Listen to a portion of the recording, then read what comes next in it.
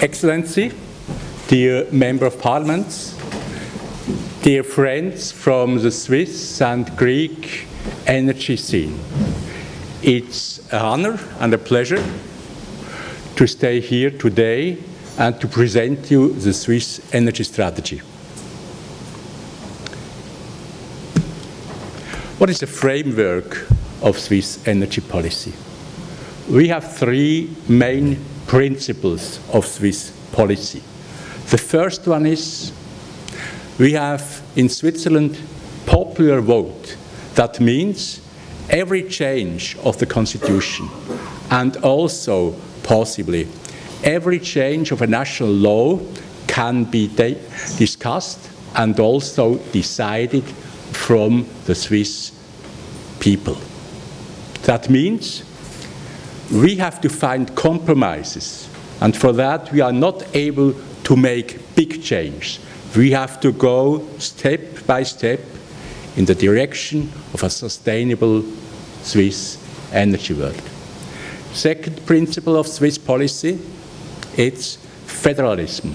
That means the cantons are responsible for a lot of duties. First of all, it's written in the Constitution that the cantons are responsible also for the building and construction sector. We, from the Confederation, we can only coordinate and steer cantonal initiatives, cantonal proposals. Third principle, we have self-regulation. It's not necessary that all duties are decided and made by administration of state or by the government. First of all, we try to get compromises on the private level in associations of engineers, architects. And for that, in the building sector of Switzerland, the SIA, the Swiss Association of Engineers and Architects has a very important role. They have to design in the direction we have to go in the building sector.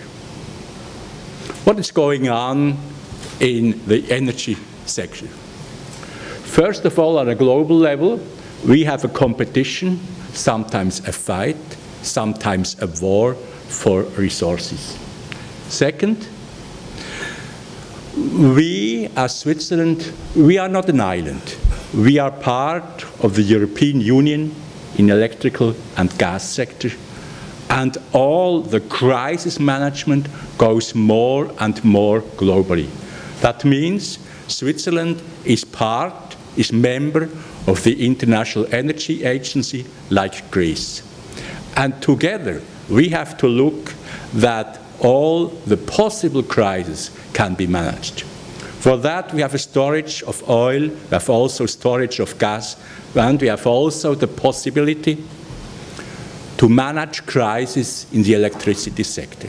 For that, Switzerland has a lot of pump hydro stations because we think it's necessary to have enough reserve capacity in the sector for bringing also electricity in times of crisis to other European countries. And the third thing we have to discuss is climate change. The Swiss government said we accept only a growth of the temperature of 2 degrees and not more. And we have to do a lot also in our country to reduce CO2 emissions and to reduce energy consumption. At national level, until now, we had increasing energy consumption. We had also in Switzerland no fossil fuel. We are discussing now if perhaps in some region we have also this unconventional gas. And more of than 80% of Swiss energy consumption is imported we are dependent from other countries. What are other aspects of Swiss energy scheme. First of all, we have a lot of duties and rules for security of supply and we have standards. We think that we will do a lot for the maintenance of Switzerland's position as energy hub.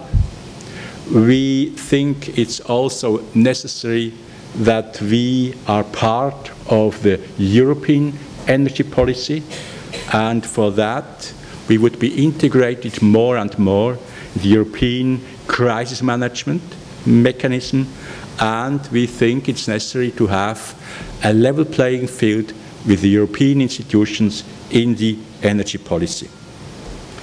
You see here our energy consumption.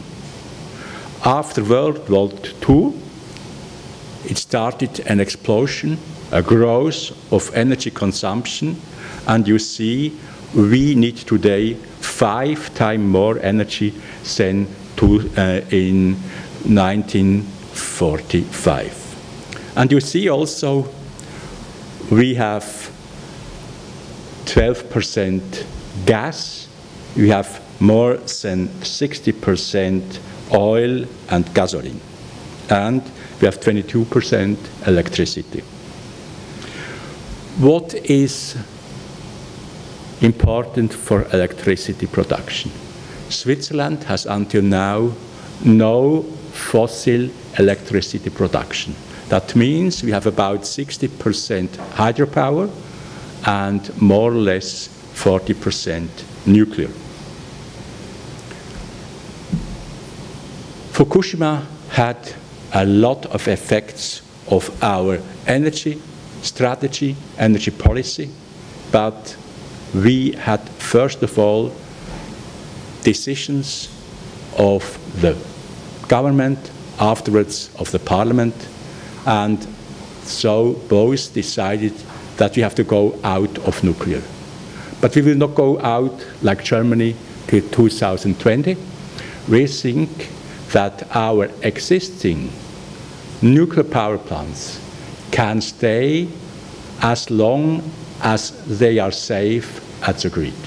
That means if every of these power stations stays 50 years, then the last one will go out in 2034.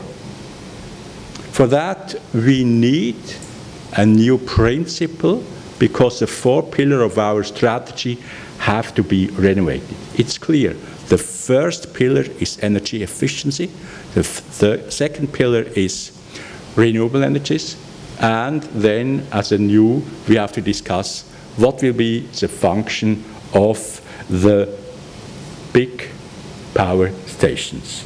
Till now, it was clear that you, we would go and construct new nuclear power stations. Now it's clear that we have to find a way without.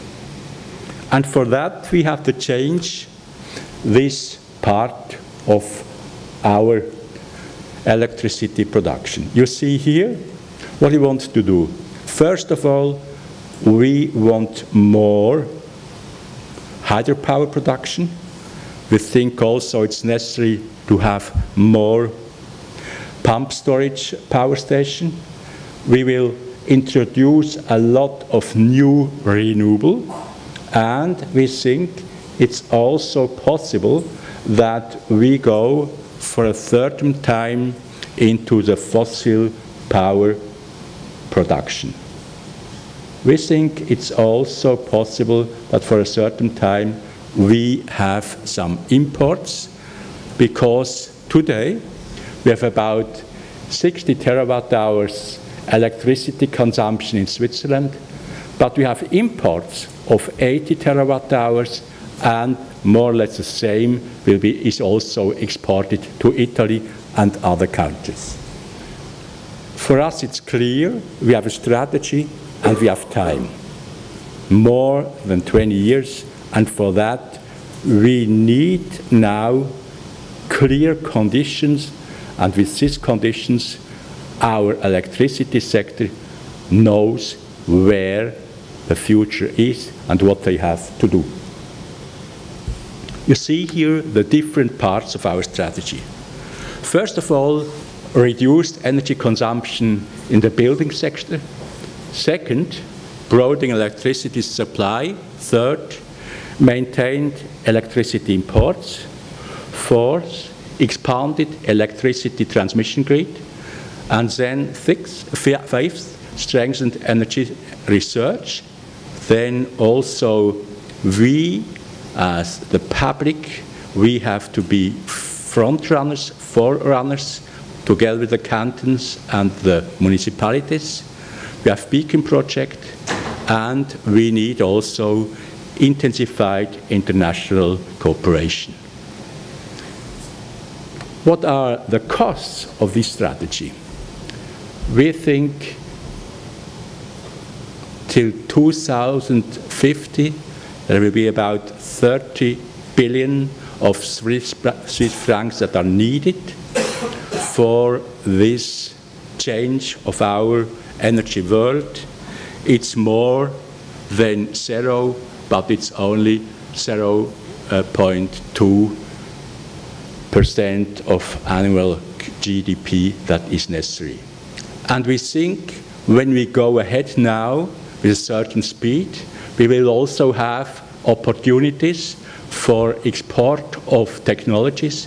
And for us, the clean tech sector is one of the main sectors for future cooperation with other countries for export of products, systems, technology, and also services. Coming to the energy efficiency in buildings.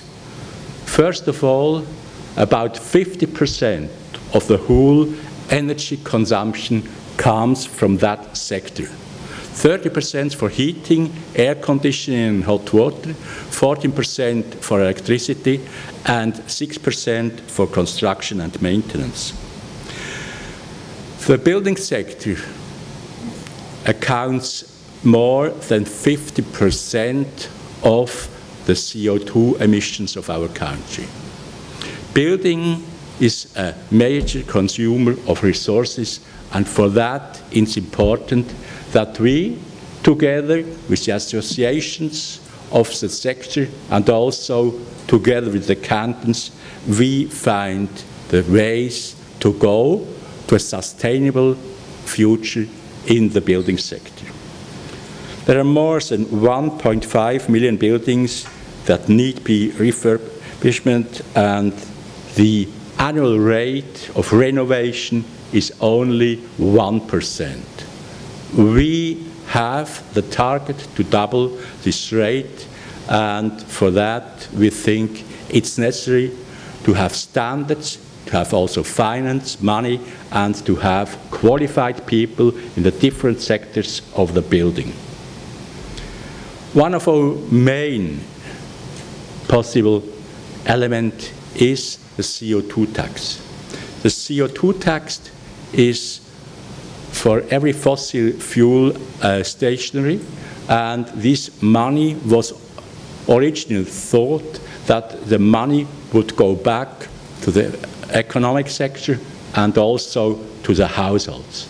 Now we think it's necessary to have one third of this 600 million for the renovation, insulation of the building sector. That means every year we have about 200 million for this program of construction of the cantons. That's the first. We need to reduce energy consumption in the existing buildings and uh, real estate sector. Second, it's necessary to have new standards and building codes.